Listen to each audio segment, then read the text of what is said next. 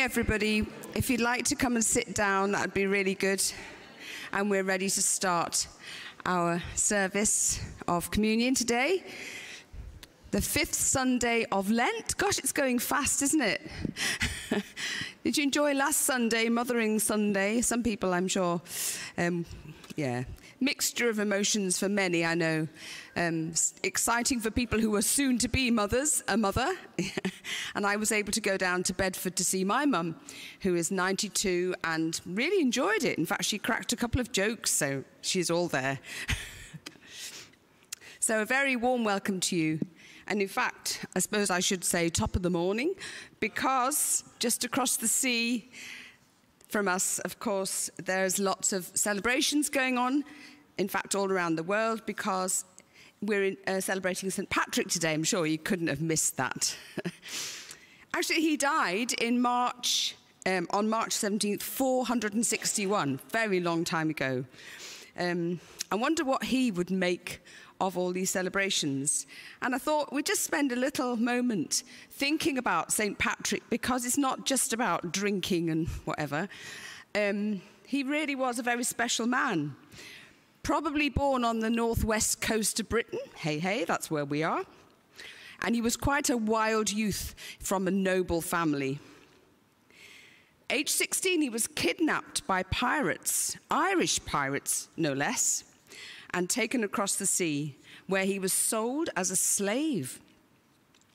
One of his jobs was to care for animals out on the hills. Goodness me, imagine that in the hills of Ireland. Wouldn't be a very good job, would it, in the rain? Beautiful, but wet. So there he was, all on his own, looking after animals on the Irish hills. But he, and he became a man of thought and dreams and visions. He seemed to have a lot of extra spiritual experiences while he was there. So he became a man of prayer. And on one occasion, he said that he would pray over a hundred prayers in a day and the same at night. I suppose there wasn't much else to do, nobody else to talk to, so he talked to God. And he, in one of his visions, you probably know this, he saw a boat. Thought, aha, this is my way of escape out of slavery. So he traveled all the way around the coast of Ireland. Well, I don't know all the right way around, but he went 200 miles on a travel. Um, and found this boat and persuaded them to let him on board. And off they went on their trip, probably down to the north of France. Um, of course, there was a storm, very stormy seas around there. And Patrick stood up and said, be Don't be fearful. I know the story of Jesus Christ who stilled the storm. So he then stood up and said a prayer, and the storm ceased. Amazing. And then he went back home and he was, his parents persuade, tried to persuade him to stay, but oh no, he had another vision. And in this vision, he was called to Ireland. He was called to go back to the place where he'd been taken as a slave, as a teenager. And there he began his great mission to take the faith to Ireland and to tell them about Jesus. We often remember him for his famous visual aid of the shamrock with its three equal leaves, the leaf, um, as he used that as an illustration of the Holy Trinity God the Father, God the Son, and God the Holy Spirit. So that's a little bit about St. Patrick. Maybe you didn't know all of that. A great man of faith. I have a little book of Celtic saints, some of you will know that. And it's just so really fascinating to read about how the faith was spread in those early days and is still being spread now. But today is also the season of Passion Tide. In the old church calendar, this was called Passion Sunday, two weeks before Easter, because of course next week is Palm Sunday, when we won't be thinking about the cross, we'll be celebrating Jesus the King. So let's be still for a moment and think about our service today. Think about the communion that we've come to share. Think about one another. Think about Jesus and God our Father and this two weeks of Passion leading up to Holy Week and Easter.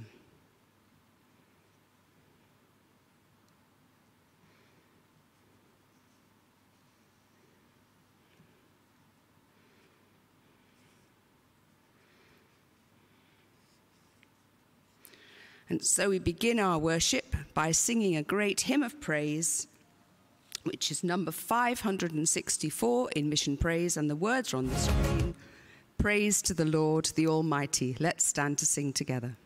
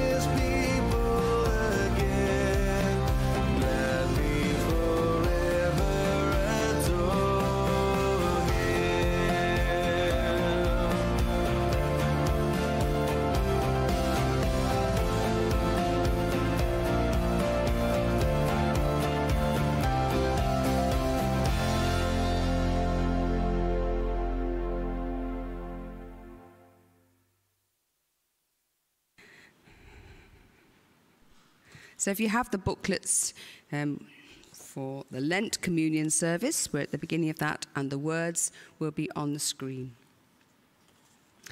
The Lord be with you. And we say together the prayer of access, preparation prayer, sorry.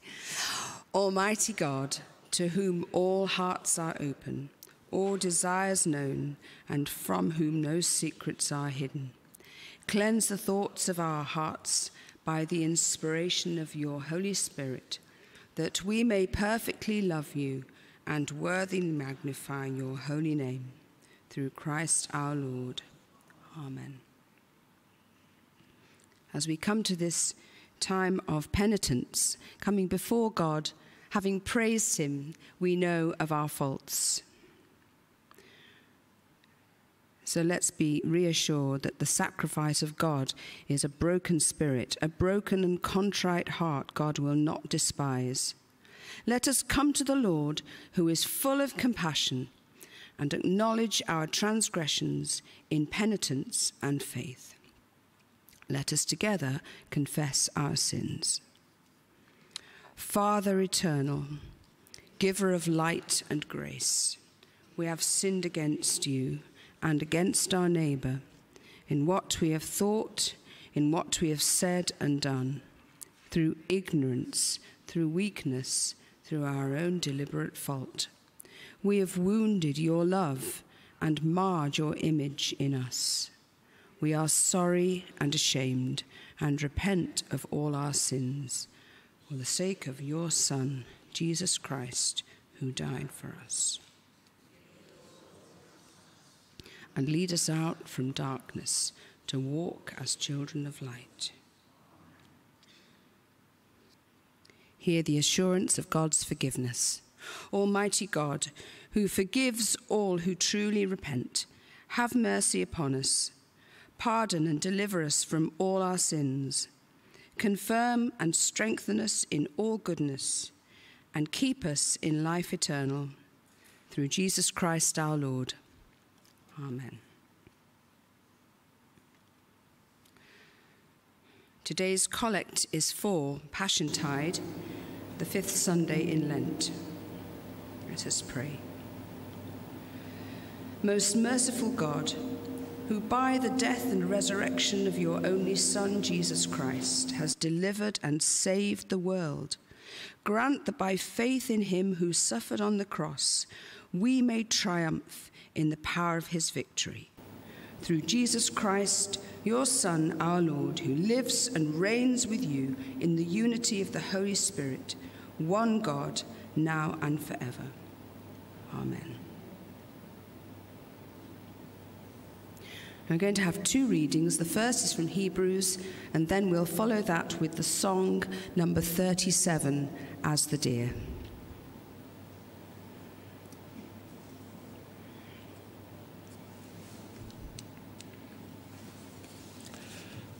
First reading comes from Hebrews chapter 5, beginning to read at verse 5. So also Christ did not glorify himself in becoming a high priest, but was appointed by the one who, sent, who said to him, You are my son, today I have begotten you. And he says also in another place, You are a priest forever, according to the order of Melchizedek.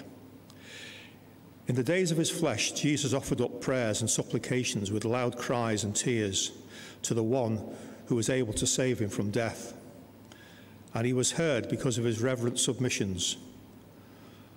Although he was a son, he learnt obedience through what he suffered, and having been made perfect, he became the source of eternal salvation for all who obey him. Having been designated by God a high priest according to the order of Melchizedek.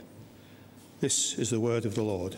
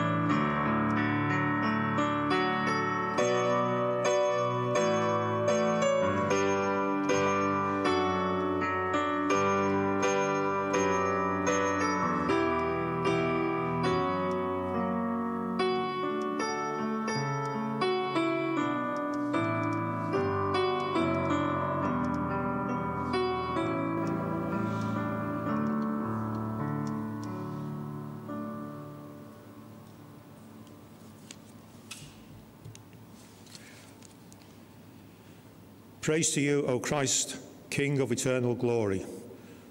The Lord is a great God. Oh, that today you would listen to his voice. Harden not your hearts. Praise to you, O Christ, King of eternal glory. Hear the gospel of our Lord Jesus Christ according to John. Glory to you, O Lord.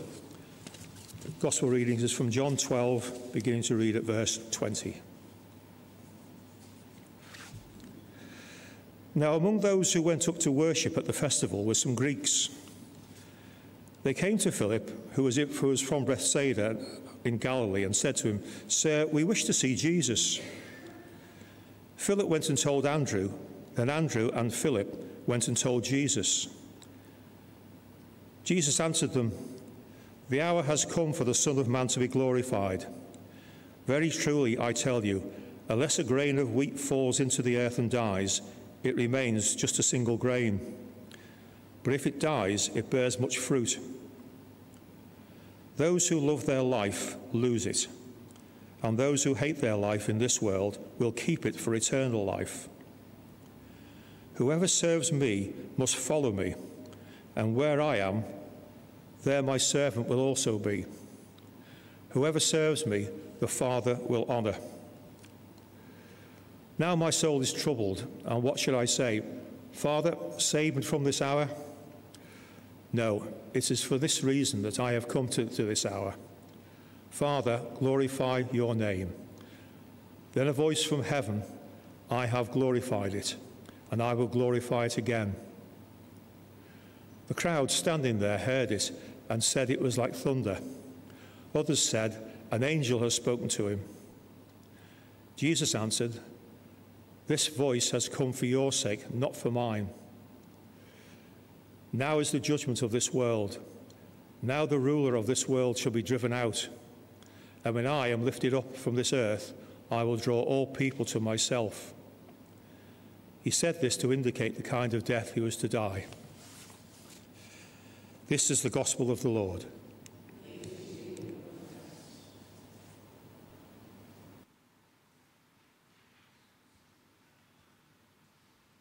Please be seated as Andy speaks to us.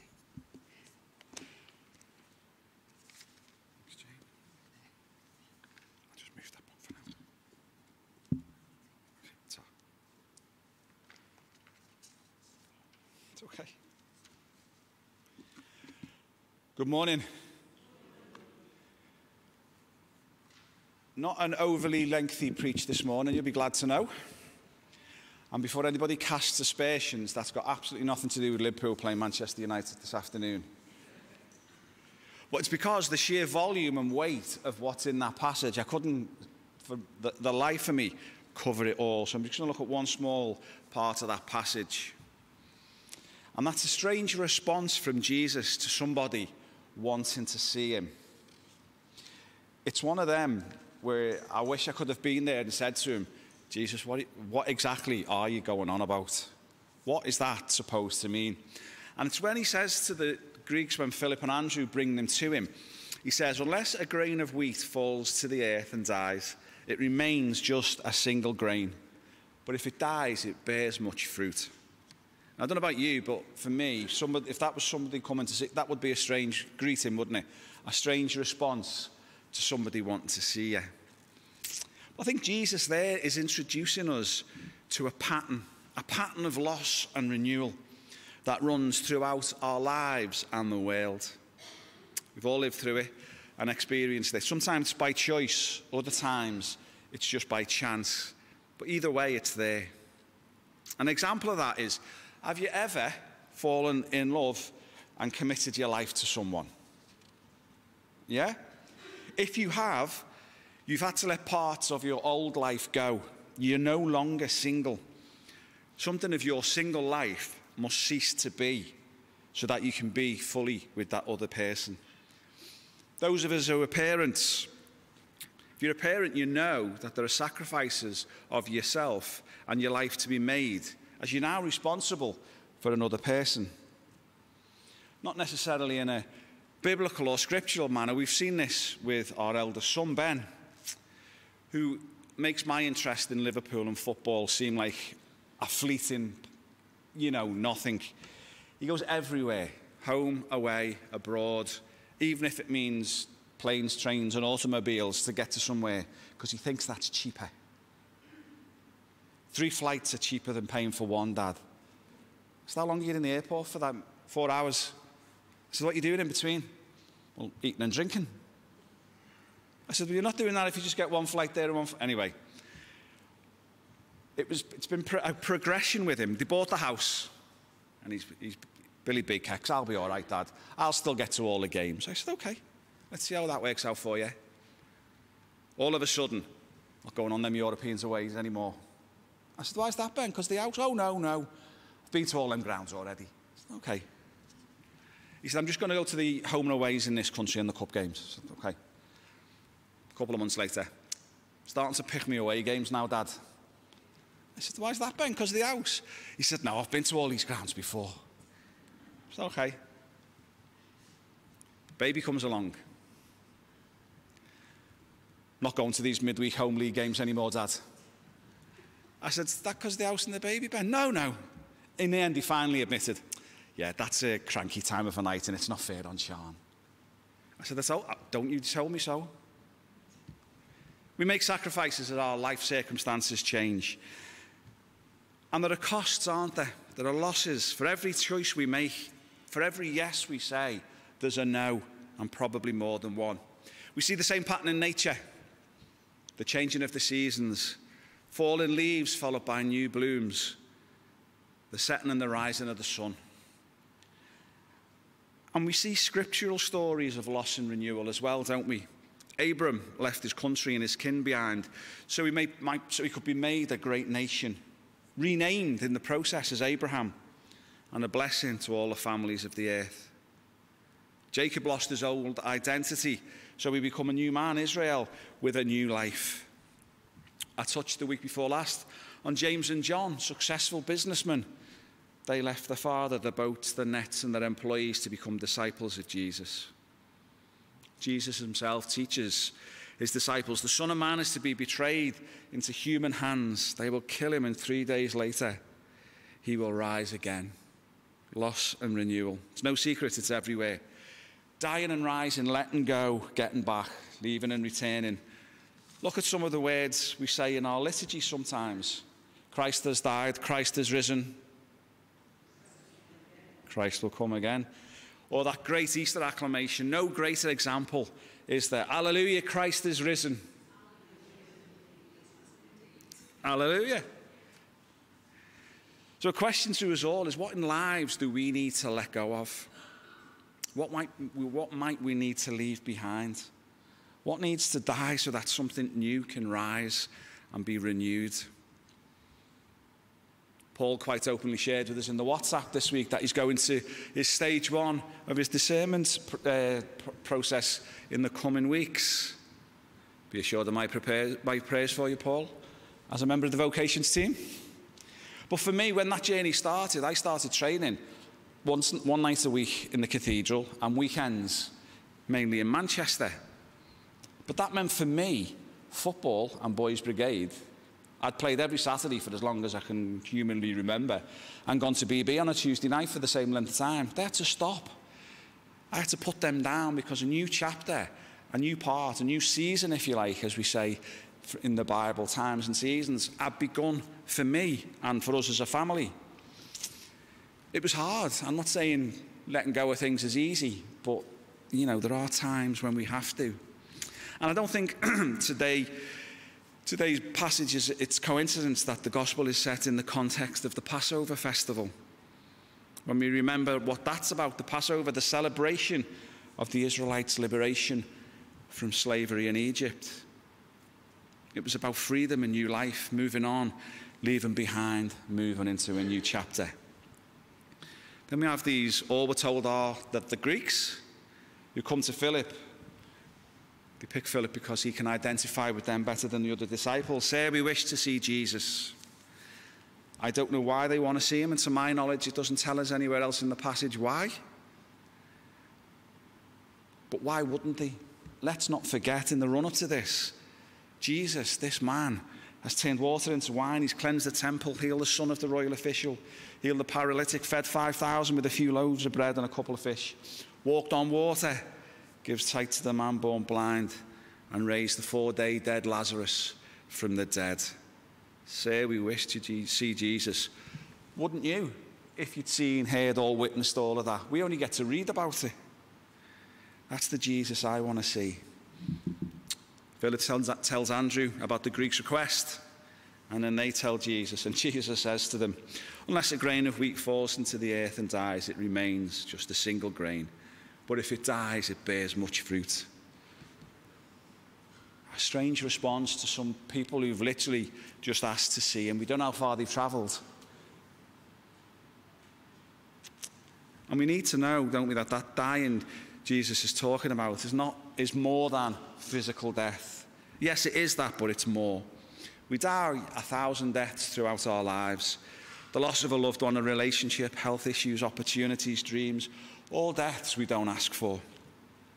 Other times it comes by choice, when we give up part of ourselves for another, when we change beliefs and values so that we can be more authentically ourselves.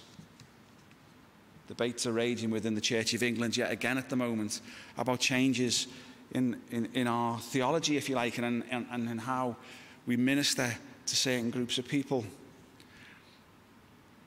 Sometimes we have to let things go in order for new things to thrive.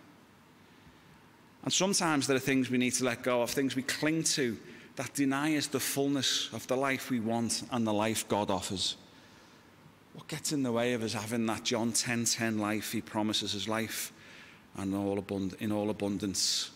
Fear, anger, resentment, regret, disappointment, guilt, the need to be right, approval, and in some ways the worst of all, even if it's not a proper word, the unforgiveness we can carry around in our hearts and our souls.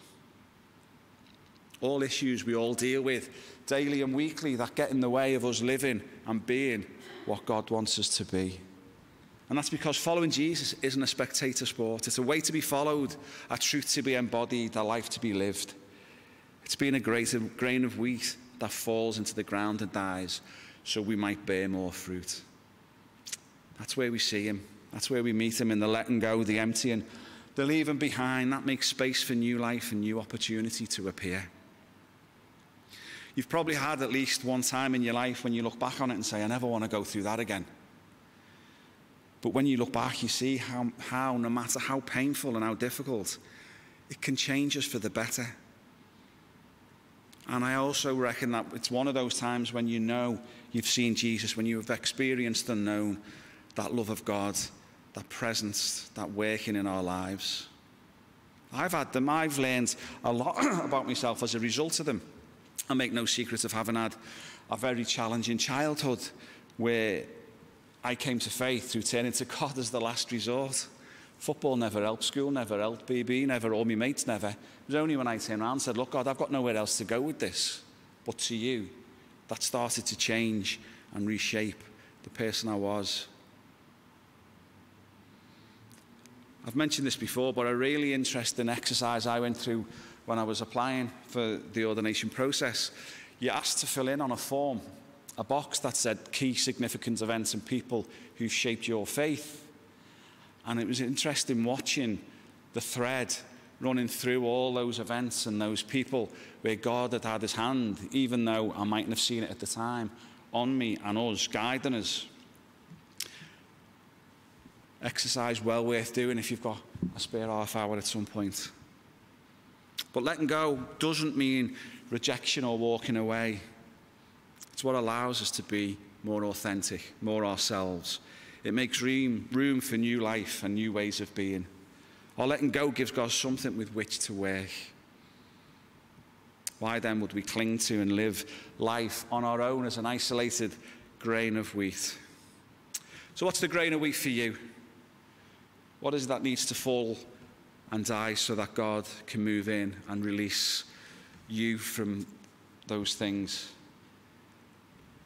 Maybe they're there at the very places waiting to bear fruit in your life. Maybe that's where you'll see Jesus. Holy Week, the empty tomb, the dawn of a new day, and the renewal of life when the single grain of wheat becomes the bread of life. I had a I was out with my son on Friday and I had a conversation with him about one of his mates who's asked him to be best man for him. And he said, he was talking about the stag do, and he said, there won't be a lot of people there, Dad. And I said, why is that?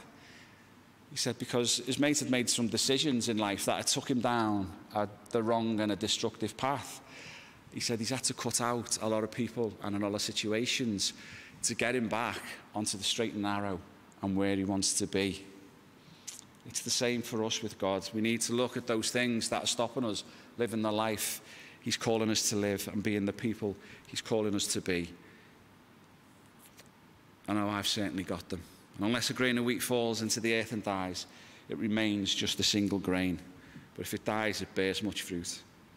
Jesus doing that for us at Easter, the single grain became the bread of life. Let's pray. Holy Father, we thank you that you call us to be the best version of ourselves we can be. Help us see where we can improve. See, help us see where we can be the people you're calling us to be in our lives, in our world, in our community, with all those we meet. In Jesus' name we pray. Amen.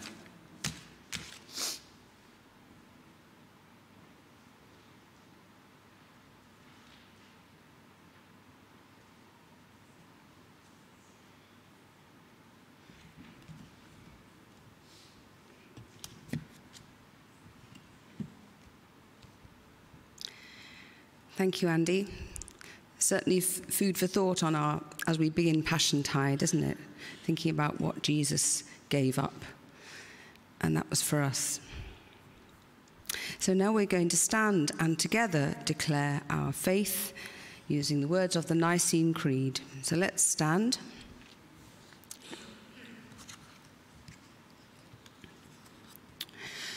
We believe in one God the Father, the Almighty, maker of heaven and earth, of all that is seen and unseen.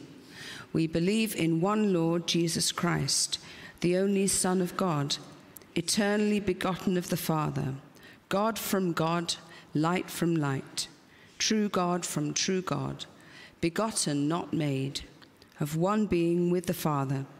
Through him all things were made. For us and for our salvation, he came down from heaven, was incarnate from the Holy Spirit and the Virgin Mary, and was made man. For our sake, he was crucified under Pontius Pilate. He suffered death and was buried.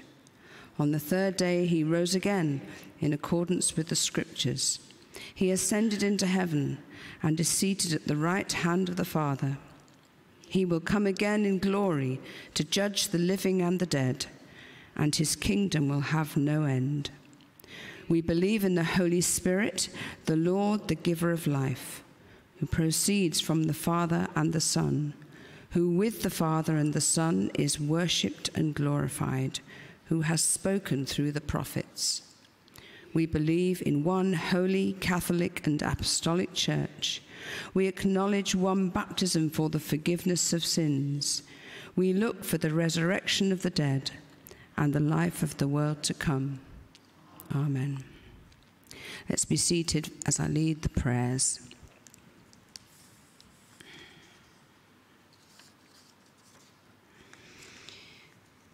In the power of the Spirit and in union with Christ, let us pray to the Father. Lord, we bring before you today the church, your people, and its leaders, its bishops, and all those in authority. We pray for the difficult times that many church leaders are going through. We pray for love and acceptance and understanding, that those who are in leadership positions may lead the people as Jesus led, being forgiving and including everyone and understanding. We pray for the past clergy of this parish and we thank you, Lord, for all that they've brought to this area. Think of Mike in his new job. And we pray for Andy the present time, carrying a lot of extra. Pray for his health and for wisdom and clear vision as he leads us. Strengthen our Bishop John and all your church in the service of Christ, that those who confess your name may be united in your truth, live together in your love, and reveal your glory in the world. Lord, in your mercy.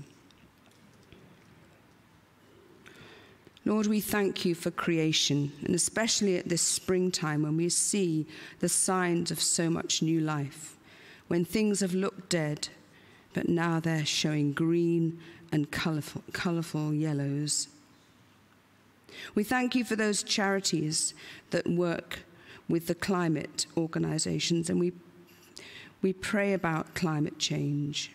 We thank you for this opportunity we've had to join in with the plastic count we pray that we will be faithful in what we do to try to reverse the problems of the climate emergency. Oh Lord, we pray for our royal family and for the King at this time of illness and unnecessary publicity. We thank you for their leadership. We thank you for all the good things that come out of having a royal family. We pray for ourselves that we may not be brought into gossiping and being nosy where we shouldn't be. We pray for those that produce the news bulletins, that there won't be judgment, but understanding and patience. Bless and guide Charles, our King. Give wisdom to all in authority, and direct this and every nation in the ways of justice and of peace, that we may honour one another and seek the common good. Lord, in your mercy. We pray for our city of Liverpool and its leaders. We pray for our area of Fazakerley and all who live here and work here. We think of the schools and the hospitals in particular, all those who drive in for many reasons. Those who are working, and we pray for the children as they approach their Easter break. We pray for all who care for others. We pray for our families near and far. We pray for ourselves as a parish as we look forward in this year, particularly as we think about our, our, parish weekend and the opportunity to get to know one another and to know you more. Give grace to us, our families and friends, and to all our neighbours, that we may serve Christ in one another and love as he loves us. Lord, in your mercy. We pray for those known to us who are unwell at this time, those who can't get out those who are feeling sad, depressed, or without hope. And just in a quiet moment, Lord, we bring these people to you in prayer, asking for your blessing upon them this day.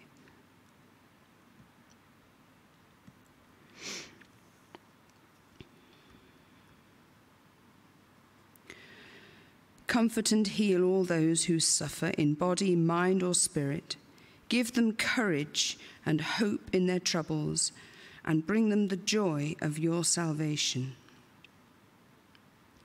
Hear us as we remember those who have died in the faith of Christ, according to your promises. Grant us with them a share in your eternal kingdom. Rejoicing in the fellowship of St. Patrick and of all your saints, we commend ourselves and the whole creation to your unfailing love. Merciful Father, accept these prayers for the sake of your Son, our Saviour, Jesus Christ. Amen. Now we stand for the peace which we're going to share together as God's people. Since we are justified by faith, we have peace with God through our Lord Jesus Christ, who has given us access to his grace. The peace of the Lord be always with you. Let us offer one another a sign of peace.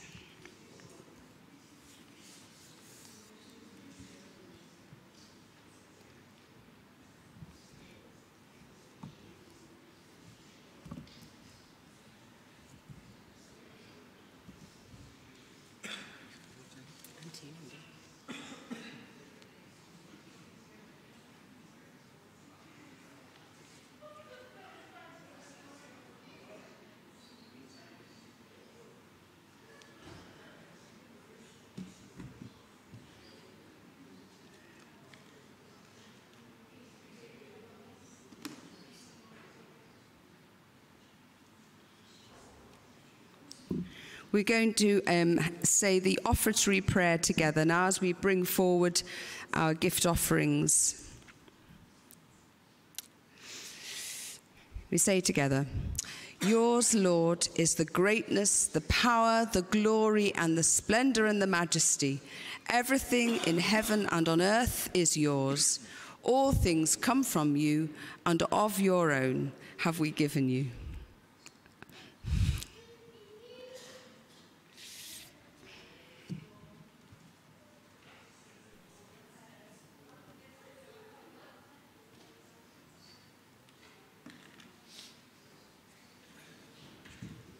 Children here.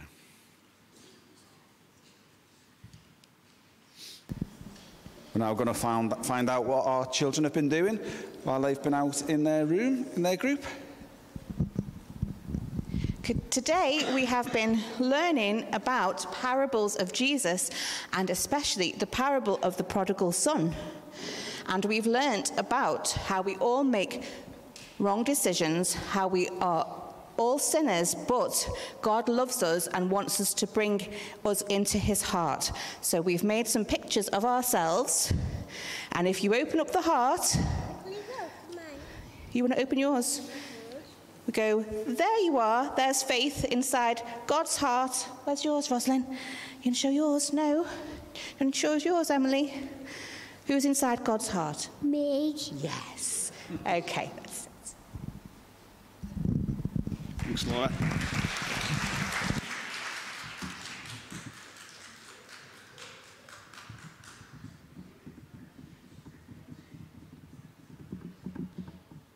going to stand and sing our next hymn, which is Father, We Love You. 142 if you're using a book. Let's stand to sing.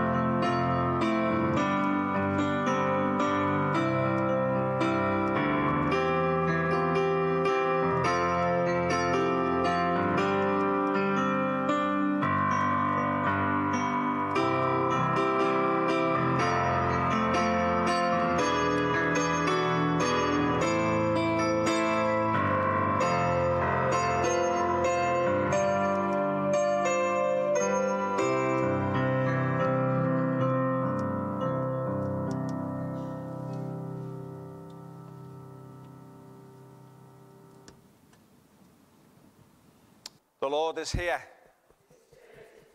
Lift up your hearts. Let, let us give thanks to the Lord our God.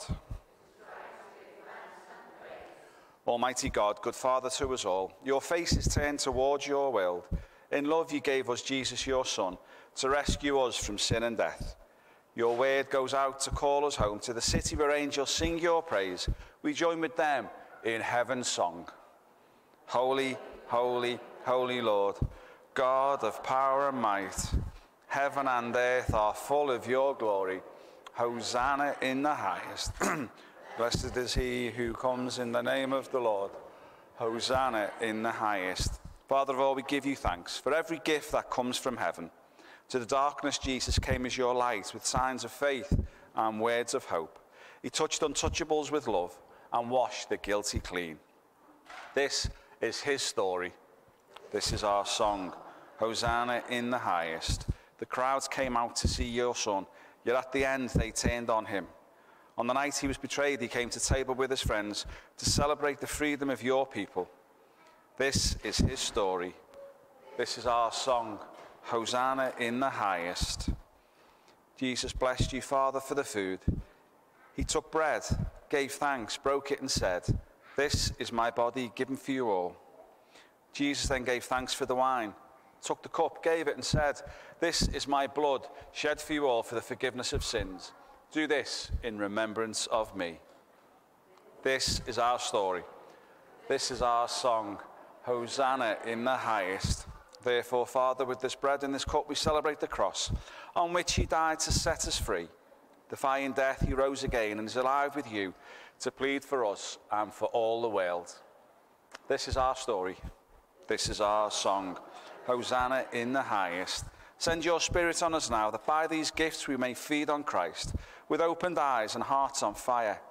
May we and all who share this food offer ourselves to live for you and be welcomed at your feast in heaven, where all creation worships you, Father, Son, and Holy Spirit. Blessing and honour and glory and power be yours forever and ever. Amen. Please be seated as we continue in our prayer together. As our Saviour has taught us, so we pray. Our Father in heaven, hallowed be your name. Your kingdom come, your will be done, on earth as in heaven. Give us today our daily bread, and forgive us our sins, as we forgive those who sin against us. Lead us not into temptation, but deliver us from evil. For the kingdom, the power, and the glory are yours, now and forever. Amen.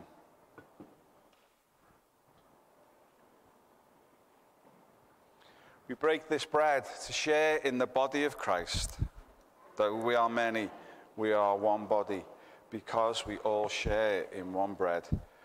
Draw near with faith, receive the body of our Lord Jesus Christ, which he gave for you, and his blood, which he shed for you. Eat and drink in remembrance that he died for you, and feed on him with, excuse me, feed on him in your hearts by faith with thanksgiving. Most merciful Lord, your love compels us to come in. Our hands were unclean, our hearts were unprepared. We were not fit even to eat the crumbs from under your table. But you, Lord, are the God of our salvation and share your bread with sinners. So cleanse and feed us with the precious body and blood of your Son, that he may live in us and we in him, and that we, with the whole company of Christ, may sit and eat in your kingdom. Amen.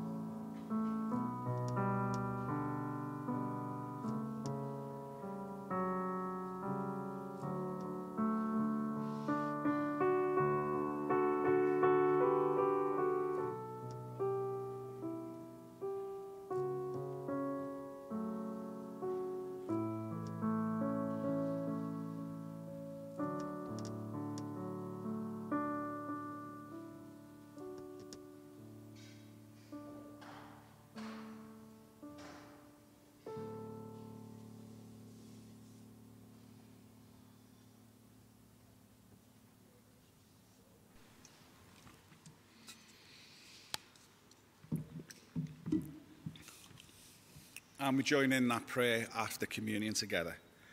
Almighty God, we thank you for feeding us with the body and blood of your Son, Jesus Christ. Through him we offer you our souls and bodies to be a living sacrifice. Send us out in the power of your Spirit to live and work to your praise and glory.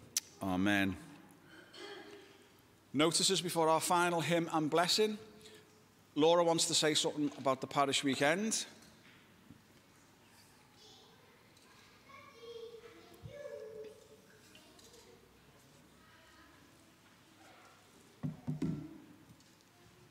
Hi. Hopefully everybody who's coming has received their individual letters um, about what's left to pay and when by. If you haven't, I've likely got one here for you. Um, the date for the second payment is today, um, but if people haven't received the letters and stuff, that's fine. If you could just let me know what's going on um, and when it'll be paid and stuff, that's absolutely fine. Um, yeah, that's it. Sorry? Yeah. Sure I for you? want to say about. Oh yeah. Separate notice. I've already said it, but we've got these little um, key rings and things that say he is risen on the table um, in there for a little donation. They've been making nice gifts for Easter, or I know a lot of you have got them already, but if anyone would like one, they're still there, just a donation. Thanks. So, Thanks, Laura. for the food bank. Did I say that? Not a donation for me, a donation for the food bank.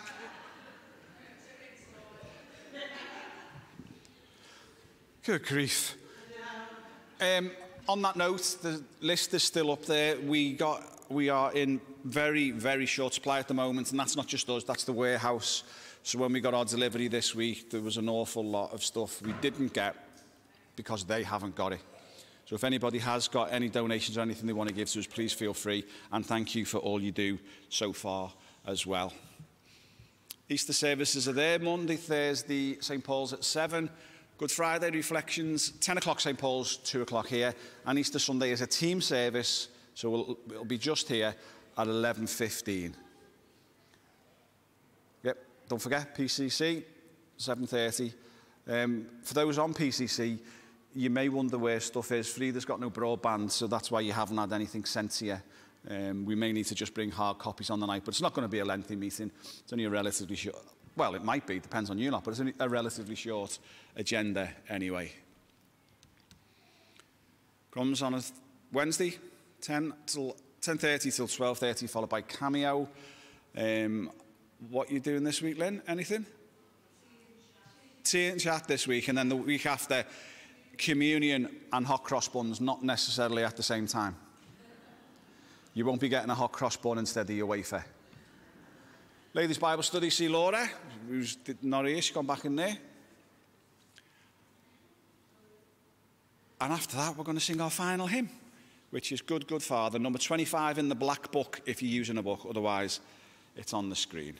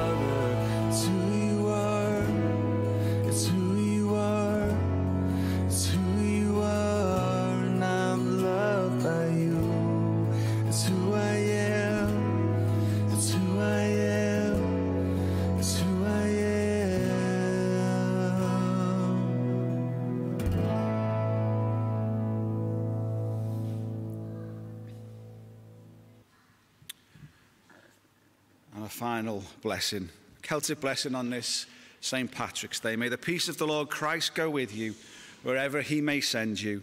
May he guide you through the wilderness and protect you through the storm. May he bring you home rejoicing at the wonders he has shown you.